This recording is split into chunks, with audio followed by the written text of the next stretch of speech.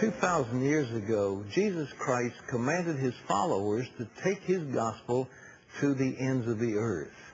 This command, known as the Great Commission, has yet to be completed. But Chinese believers have an inspiring vision to fulfill that command within this generation. Here's CBN News Middle East correspondent Chris Mitchell.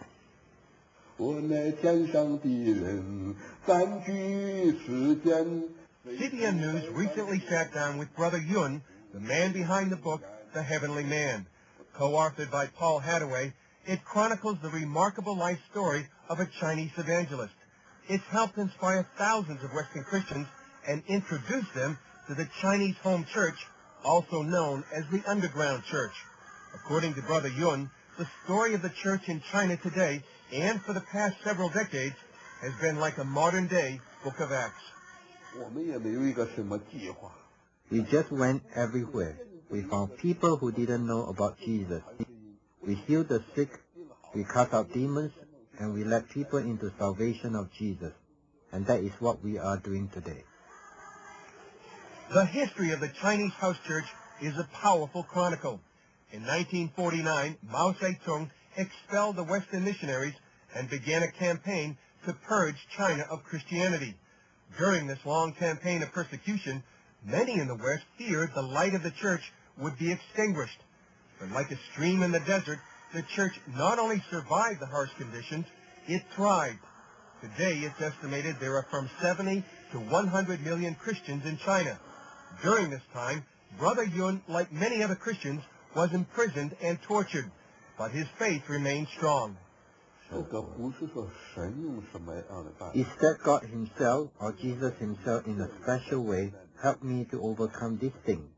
It was more like in myself, in my spirit, and in my heart. I had to focus my eyes on Jesus. Think about his suffering for me. And so I was receiving strength from his suffering, and that made me strong enough to overcome the persecution. Even in jail, he says the Holy Spirit moved powerfully.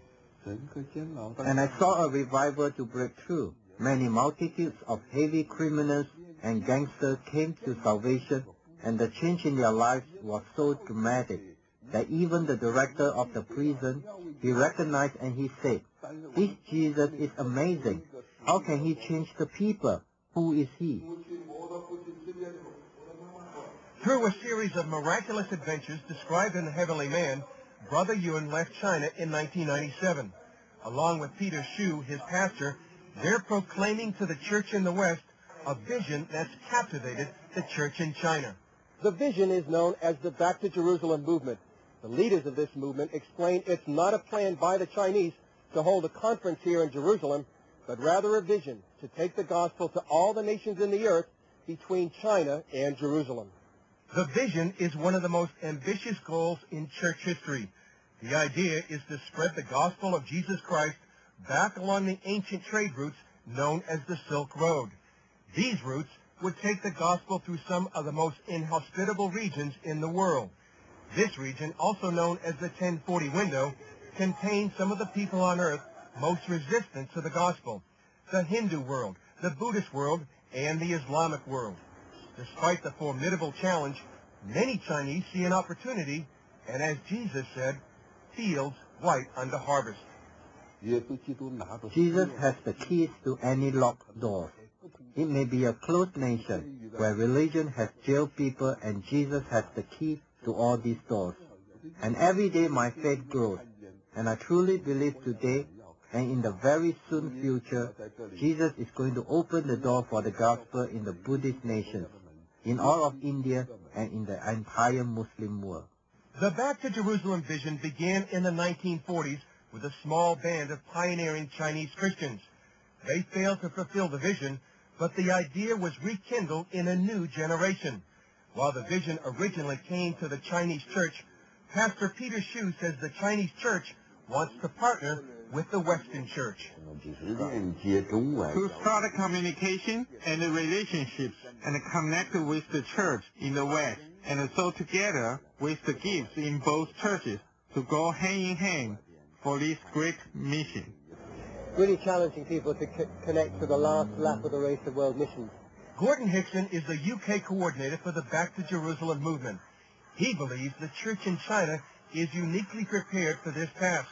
It's expected as many as 100,000 missionaries will be needed. Many of these Christians have been forged in the furnace of persecution. This is a total life commitment. They're willing to die for this vision. And that's very humbling for people when you when you're working with people who are willing to lay their lives down for a vision, which is costing them their lives. Most of the people who are beginning to be trained in this, before they even come into the training schools, they have to be willing to say, I'm ready to die outside of China. I'm, I'm willing to uh, actually be buried outside of China. So that's heavy stuff. The leaders of the Back to Jerusalem movement believe the idea could help complete the Great Commission in our generation and help fulfill China's destiny. As Napoleon once said, China is a sleeping giant. When it awakens, the earth will shake. Chris Mitchell, CBN News, Jerusalem. Thank you, Chris. Ladies and gentlemen, there's a book called The Heavenly Man. I couldn't put it down when it was given to me at Christmas time. and it, it is the most fascinating story of Brother Yun. What he went through uh, is beyond belief. The time when he fasted, and I believe it was 84 days, it was supernatural how God miraculously got him out of prison. He just walked through the door, and the guards were uh, like blinded. Uh, but the suffering, the torture, the things that he went through, you don't want to miss reading this book about this extraordinary man.